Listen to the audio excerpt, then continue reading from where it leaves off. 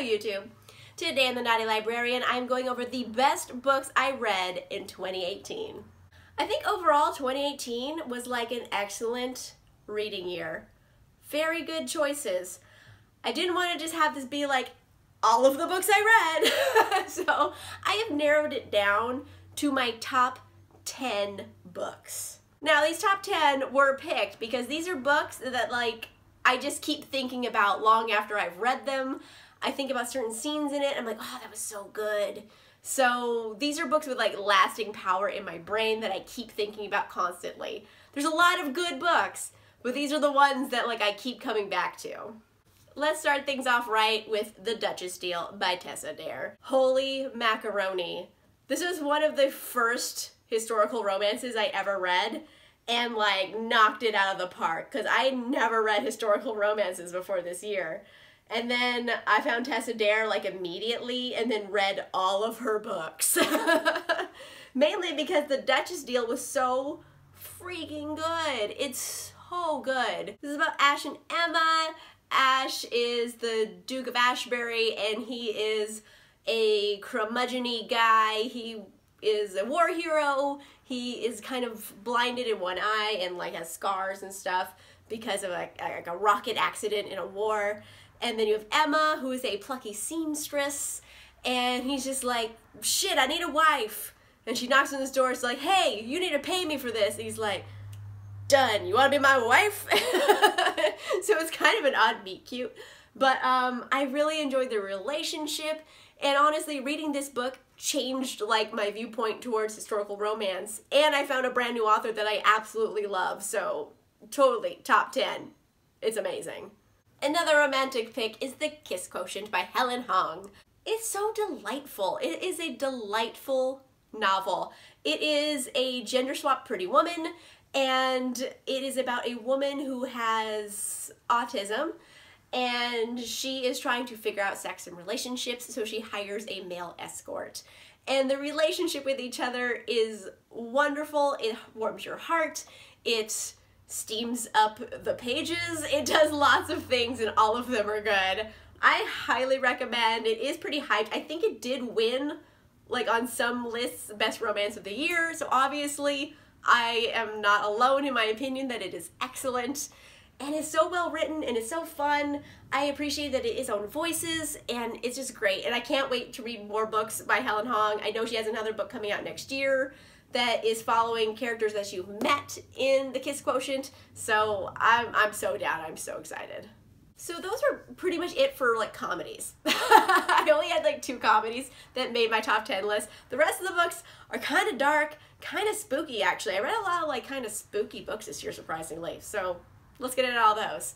Surprise about surprises, I fell in love with the Villain series by V.E. Schwab. And this is book one, it's called Vicious, the sequel is called Vengeful. It blew my mind with how good it was, because like, me and V.E. Schwab, we don't always see eye to eye, and it's nothing against her writing, because I think she's a genius and an incredible writer, it's just she does have a tendency to be like overly wordy at times, and I wasn't feeling it for a lot of her other books. Like, I like them, but they weren't like my favorites. And then I read Vicious, and I was like, is this the same author? Like, it is freaking amazing. The series is about a lot of things, about morally gray people getting superpowers, essentially. And when you have morally gray people with a lot of superpowers, what happens? And the answer is probably nothing good because they're kind of shitty people. so it's kind of um, a story all about villains. And they're very nuanced, interesting characters these are so dark and juicy and it's all character study. So a lot of people who really, really like V.E. Schwab for her work adventure-wise, like they like her plots and like action and stuff, they might not feel like this is the book for them, but me, I'm like into character study and I want to get into their juicy little thoughts and I'm like, oh, I love being inside of a character's brain. So this is like all brain all the time. so if you're into that, I recommend this highly. And its sequel is very good, but I think I like Vicious better than the sequel. Like, just a touch more. Next up, I picked The Hazel Wood by Melissa Albert. I think this is the one I think about maybe the least out of all the other books on the list, but you know what? I really enjoy it still. I thought this was an incredible debut. Like I was shocked this was a debut. It was so gosh darn good. Holy macaroni! Like this is not a this is not a debut author. This is very strong and interesting and weird and it doesn't make sense always, but that's kind of the point. And I appreciated it just from like the art of storytelling and how she did it. Oh, so good. it's about this girl named Alice and she has grown up hearing these stories that her grandma wrote. Her grandma basically wrote a collection of fairy tales, and they're all weird, fucked up fairy tales where like a bunch of horrible things happen, and then they just kind of end. Like there's not really a moral to the story. There's not always a happy ending. They're just fucked up stories, and they're wildly popular. As you go on through the story, you start realizing that the Tales of the Hinterland, which is the name of the book, those tales are true. These are real people. These are real characters, and they exist and Alice, um, her mom is kidnapped and she's going to find her and she realizes she was taken to the Hazel Wood, which is her grandmother's property that she's always been warned to never go to. So it is a really weird exploration of fairy tales and it's also, um, I like that the characters aren't necessarily likable. They're um, dynamic. Alice isn't the nicest person, by a long shot. She's actually she does a lot of things that are unlikable, but like you still want to you still like her anyway. She's very fascinating to read about. And overall, I kind of just liked it for the sake of the storytelling. It's, it's hard to explain what it's about without spoilers, but essentially it's kind of similar to the fairy tales that her grandmother told where like a lot of weird messed up stuff happens and characters do things and then it just kind of ends. Like, and that's kind of how it happens here which i could see why some people wouldn't like that but like i like that it just kind of ends. Like there's no moral to the story here. It just sort of ends and i'm like oh that's that is smart storytelling. I, I enjoyed it. So yeah it's definitely getting on my top 10 list just because it's very unique and original. Also making the top 10 is The Bone Witch by Rin Chupeco. I had seen this cover before and it is gorgeous, but like I had heard maybe not so nice things about it. I heard that it's boring or um, it doesn't get to the point, it's weird, it's like structured funny, and I was like, I don't know. And then I'm like, but it's so pretty. So I read it and I was like, I don't know what these people are talking about. This is structured gorgeously. It's kind of interesting because it's a story uh, told in two time periods. So it's told in the present and in the past. It's all about this girl named Tea who is basically a bone witch, which is a kind of necromancer type of thing. And she fights demons to save the realm. Like she's an awesome character. And it's all about, um, she is basically in the present telling this story to a bard and she's telling the story that happens in the past chapters, the chapters that are happening in the past. And in the present, Tea is very, very different than how she is in the past. So you're basically, you're seeing someone tell the story of how they became the villain. And it's so fascinating.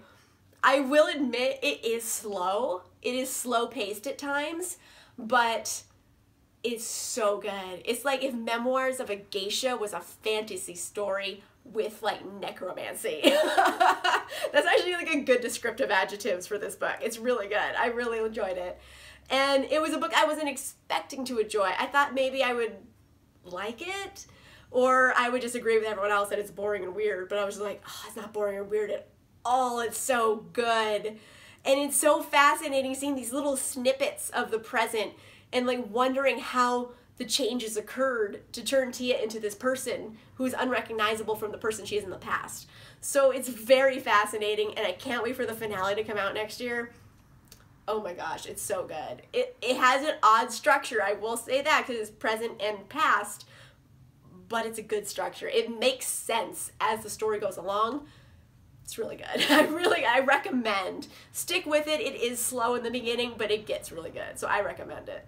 Next up, I have Forest of a Thousand Lanterns by Julie C. Dao. This is another witchy kind of book. It is also Asian inspired, and it is a retelling of the Snow White story, but from the Evil Queen's perspective. So it's kind of an Evil Queen origin story, but set in a fictional ancient China. And it, it's it's really good. I know I just keep saying that about all these books.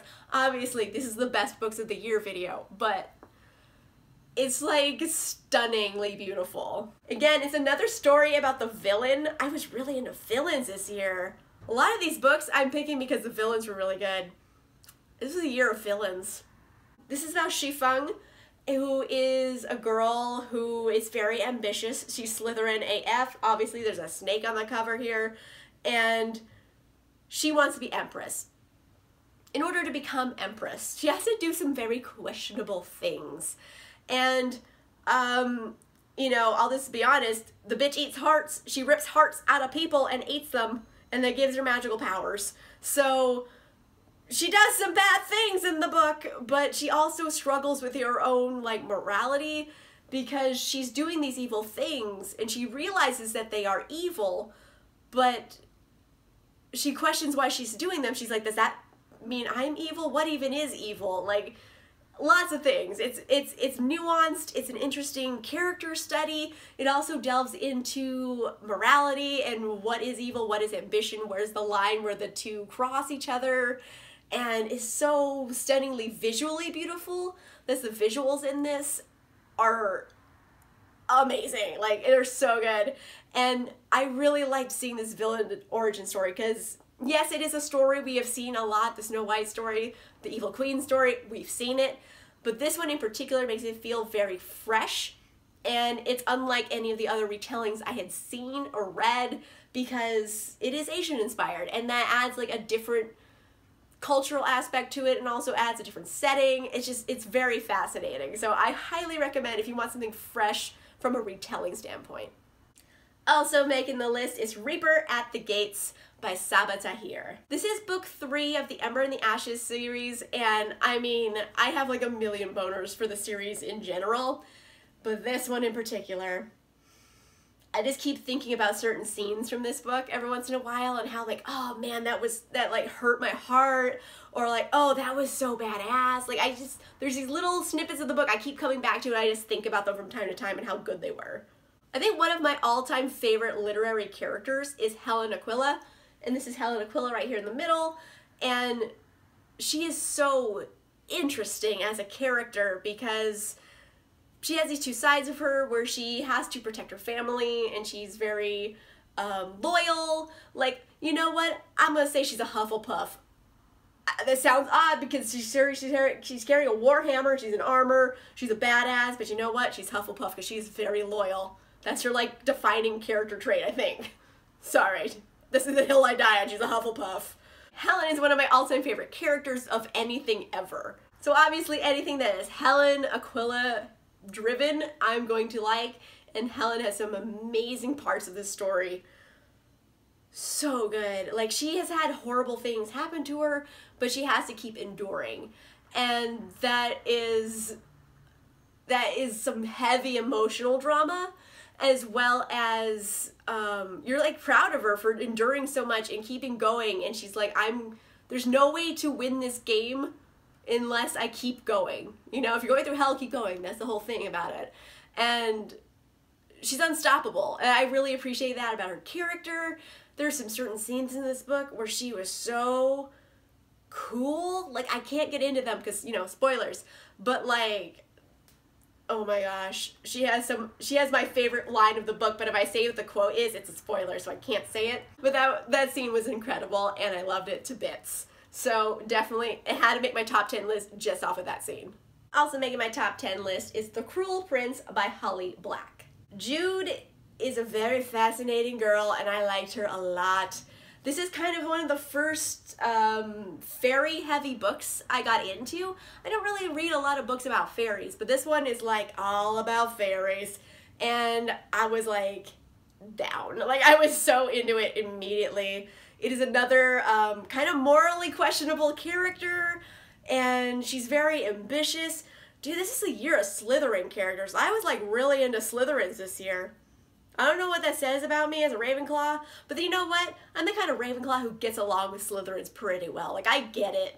I get them. I don't want to date them, but like I get it. I love the character dynamics in this. Um, you have Jude, who is our heroine. She is a human living in fairy, so life isn't great for her. Then you have Cardan, who is a prince, and he is cruel, as the title suggests. and their relationship with each other is so toxic and fucked up, but you're just like, oh, I want you to be together anyway. it's really weird to root for a really toxic relationship, but I just want to see them together because when they're together, they are so dynamic and fascinating, and I feel like they bring about their best worst selves, if that makes sense. Like, they bring about the best version of their worst self. That makes more sense. And I'm so into that dynamic and it's weird and fucked up and toxic and I should not be into it but I am and I just I just want to see more of it. I can't wait for the next book of the series. I'm freaking out about it. I still think about like scenes from this all the time. So amazing. Ugh. Also on the top 10 list is Windwitch by Susan Dennard. This is actually the second book in the Witchland series. I liked it better than Truthwitch, so I'm gonna say Windwitch instead of Truthwitch. This whole series in general, it just holds a special place in my heart because I've actually made most of my booktube friends from reading this series. We all kind of ended up talking about it somehow on, on booktube and then we all kind of became friends and now we've been buddy reading lots of different books together because we wanted to read Truthwitch together. So, you know, sentimental value wise, it has like a special place in my heart. But also, Windwitch is dope. It's so good. It's so fun. I enjoyed it it's very interesting world building. There's different languages she created. Like Susan Dennard like got into this like Tolkien level. Like she was she got real into this world and I'm like I dig her like enthusiasm. I'm just gonna be honest. One of the main reasons I liked Windwitch so much was because I got a lot of Aeduan chapters. And Aeduan, aka hashtag Baeduan, is my jam. Like, I'm obsessed with this character. But considering there's a hashtag about him, I think a lot of people are obsessed with this character. He's awesome. There's a lot, a lot, a lot, a lot of good Aeduan chapters in this book, and he does some really cool stuff. There's also like a weird gore thing in this book. It's just an out of context spoiler. But Aeduan, he broke a guy's arm and then stabbed him in the neck with his own arm bone, which is like a piece of gore I have never read or seen before. so from that perspective, that's very original, if not very gross. But I'm like, I think about that scene often. I don't know what that says about me as a human, but I think about that arm bone to the neck scene Just because it was so like horribly violent, but very visual and very interesting. And also it was Aeduan doing it. I don't know why I'm like obsessed with Aeduan. I'm not giving you a good example of why I'm obsessed with Aeduan, but whatever. Basically, Windwitch took everything I liked out of Truthwitch and took it up a degree. Like, the stakes are higher, the characters are in more peril. They're all coming to this conclusion that has been building. Which is weird because I actually don't like the prophecy parts of this book as much as I like what's actually happening in the present plot of this book. You know what I mean? Um, the overarching storyline isn't as fascinating to me as what's going on in the present. It's rare that I say that, but this is what happens in this case for this book. But I'm really into Windwitch. It was probably my favorite. I can't wait for Bloodwitch. It's gonna be awesome. My top pick for 2018 is Sawkill Girls by Claire Legrand. This was my favorite book I read in 2018. And it's weird because I waited till December. I found my favorite book in December. like, oh, it's so good. It's so good. Like, I have no words. Like, I can't even describe the plot because unless you're reading the book, the plot doesn't make sense. It's hard to explain because it's kind of like a really artsy horror movie where you're watching it and you're like, I know this is incredible, and stunning and I know it's good, but I have no idea what's happening. like that's how you feel sometimes in the book. And you go with it because you know it's really good still. Like the prose is excellent, is definitely feminist horror, and I'm like down. Like I am so into it. Like into it to a weird degree of how into it I am. the the very basic stripped down gist of the story is that there's these three girls. and they live on Sawkill Rock, which might be sentient, and then they gain superpowers to defeat a monster who eats girls and is a personification of the patriarchy. I realize that sentence doesn't make a lot of sense, but that's the best way I can make sense of the plot of this without spoilers that make no sense unless you're reading it. so it's really weird to talk about my favorite book of the year but not be able to say anything about it because it doesn't make sense out of context and also it would be a spoiler if I did. So I highly recommend reading it. It is an artsy horror story and there's a lot of really incredible imagery with like moths and horses and girls and like how they relate to each other. There is um, also cool representation in this because one of the characters is asexual. The other two characters are lesbians. So it's queer, it's, it's feminist, it's horror, it's like, it's got a lot of things going for it that are incredible. I know some of you out there like aren't into horror and you don't like scary books and this is a scary book, but it's more atmospheric scary. It's artsy scary rather than like boo scary. So there's not like ghosts and like demons and stuff. Well, there is a demon, but he's like the monster of this. It has, it's a monster, okay? There's a monster in it. But there's not like um like ghosts and stuff in it. So it's not like a boo shock you scary book. It's more like thrilling, creepy, atmospheric horror. So if you could get into it, I highly recommend picking it up. It's incredible. Like like I just want to like build a frame around it and just show it to everybody. like it's so good. It's my favorite book. My favorite book of 2018, Sawkill Girls. Excellent. So after like reviewing my top 10 books, I have come to a few realizations. One, I was super into villain stories this year. Two, like Slytherin characters, characters who were like very ambitious and cunning. Like I was like down for them this year. I was really into them. Um, overall dark storylines I was super into. And then also like really light fluffy rom-coms. so though, like, you know, there's like a little weird bit that were, you know, one of these isn't like the other. but I was really into villains and like Slytherin stuff this year.